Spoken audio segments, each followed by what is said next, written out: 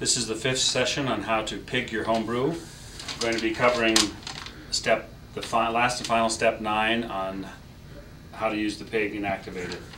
We have the pig has been, the pouch has been activated, the headspace gas has been bled out, so this is completely full of liquid.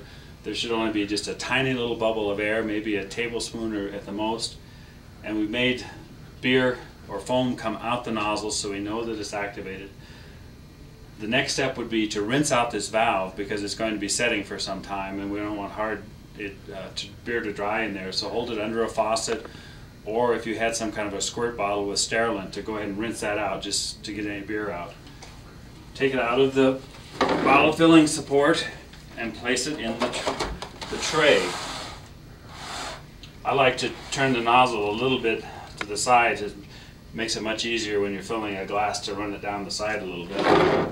If you're worried about getting too much foam. Then this is the strap, just slides right under here.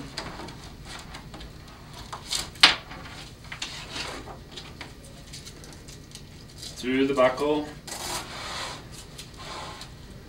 And then it is very important to tighten this as best as you can.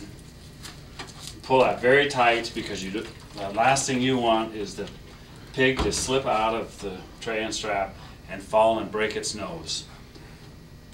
This party pig is ready for aging, whatever is appropriate for the style of beer, and then it's ready to put into the fridge for 24 hours for a good thorough chilling before drinking.